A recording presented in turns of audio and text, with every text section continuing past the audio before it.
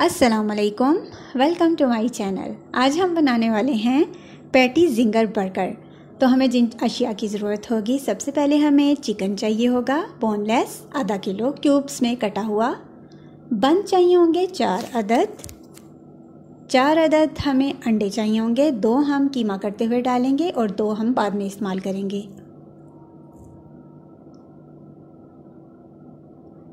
एक चम्मच हमें लहसुन पिसा हुआ चाहिए होगा, एक अदद प्याज चाहिए होगा, आधा कप हमें गाजर चाहिए होगी, दो तीन हरी मिर्चें कटी हुई चाहिए होंगी, थोड़ा सा हरा धनिया चाहिए होगा, रस दो अदद चाहिए होंगे चूरा किए हुए और आधा कप हमें बंद गोभी का चाहिए होगा।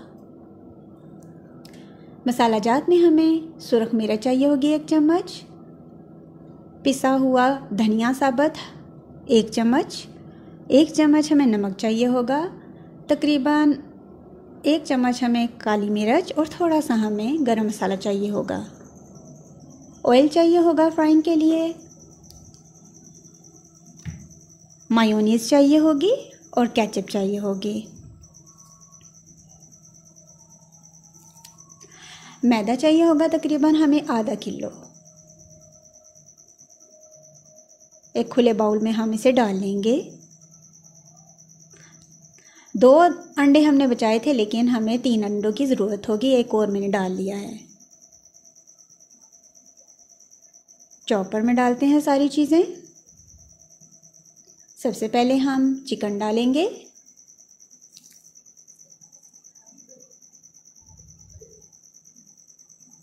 लहसुन और प्याज डाल देंगे।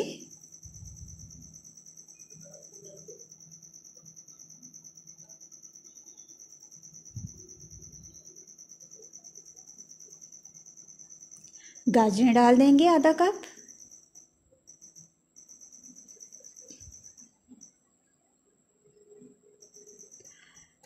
रस का चूरा डालेंगे। दो दद रस लिए थे हमने।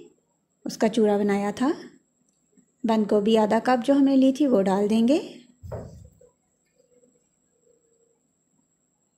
हरी मिर्चें और थोड़ा सा धनिया जो लिया था वो भी डाल देंगे। जो मसाले हमने लिए थे, वो सारे इसमें डाल देंगे।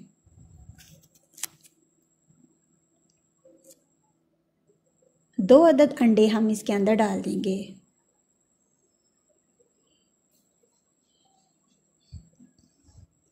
अब हम इसको अच्छी तरह से चॉप करेंगे।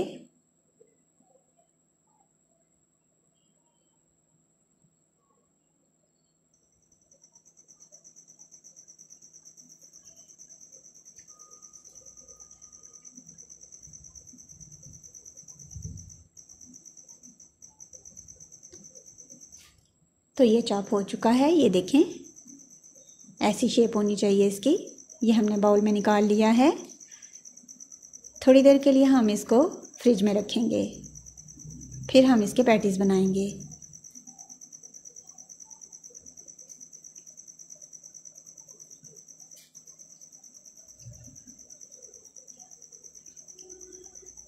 अब ये हमने निकाल लिया। फ्रिज में से हाथों पे थोड़ा सा पानी लगाएँगे और पैटीज़ बनाएँगे। थोड़ी सी बड़ी पैटी हम रखेंगे इसके साइज़ में।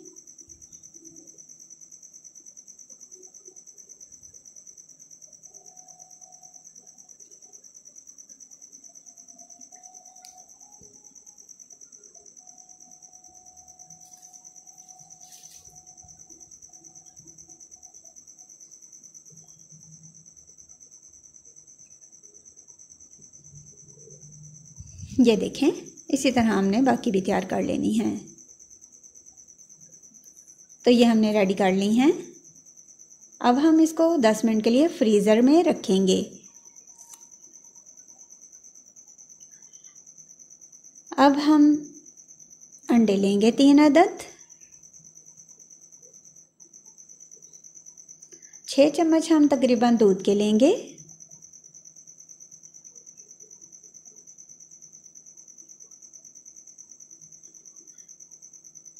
आधी चम्मच हम काली मिर्च लेंगे, आधी चम्मच नमक लेंगे, आधी चम्मच हम सफ़ेद मिर्च लेंगे और आधी चम्मच हम लहसुन पाउडर का लेंगे। ये टीस्पून का मैं बता रही हूँ। आधी आधी टीस्पून यानी कि अच्छी तरह से मिक्स कर लेंगे।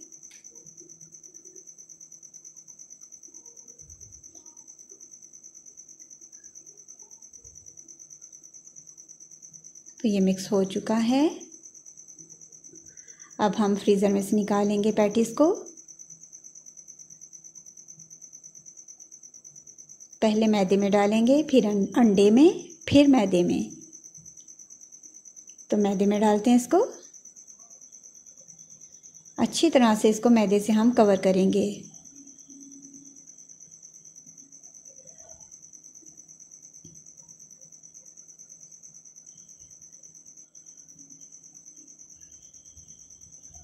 अब अंडे में डिप करेंगे हम।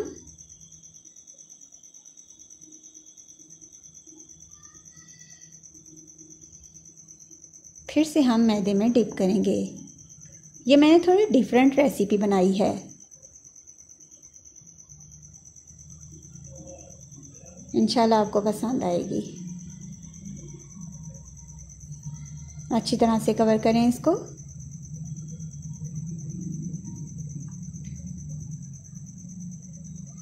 ये देखें इसी तरह हम सारे रेडी कर लेंगे।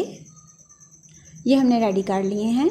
देखें थोड़ी जिंगर की इस पे शक्ल आ रही है। अब हम इसको फ्राई करेंगे।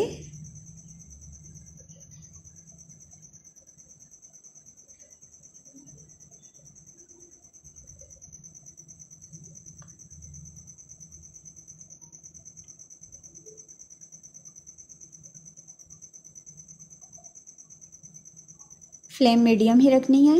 एक तरफ़ से गोल्डन हो जाए तो दूसरी तरफ़ कर लें।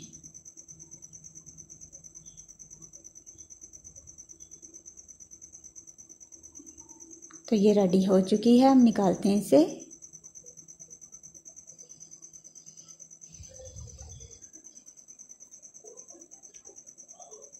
इसी तरह हम सारे रेडी कर लेंगे।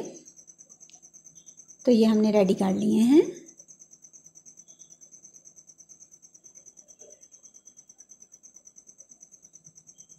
अब हम बन लेंगे।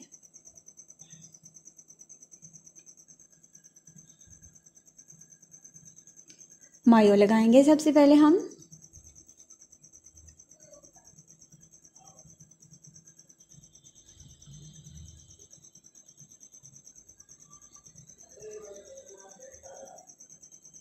पैटी रखेंगे ऊपर। देखें कितनी अच्छी शक्ल आई है, माशाल्लाह से। बंद गोभी ऊपर डालेंगे।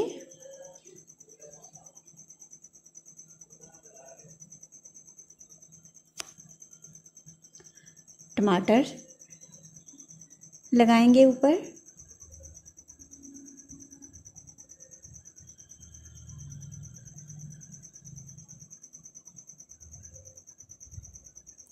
केचप लगाएँगे। अब फिर से ऊपर वाले हिस्से पे हम मायो लगाएँगे।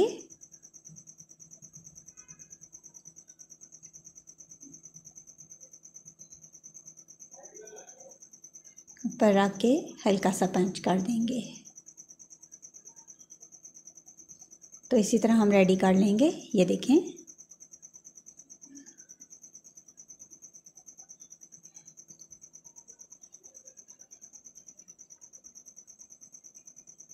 तो ये हमने रेडी कर लिए हैं।